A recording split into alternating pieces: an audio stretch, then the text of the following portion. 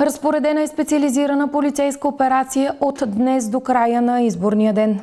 Това стана ясно след съвещанието, което проведоха днес от висшето ръководство на МВР, прокуратурата и службите. Основната задача на акцията е обезпечаването и безпроблемното протичане на изборния процес, както и предотвратяването на престъпления и нарушения на изборното законодателство.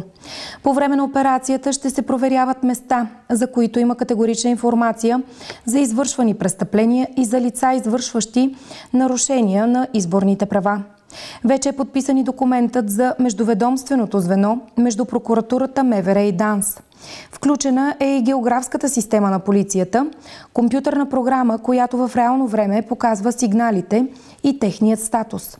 Открити са и денонощните линии за подаване на сигнали. Към момента се работи по 4 такива.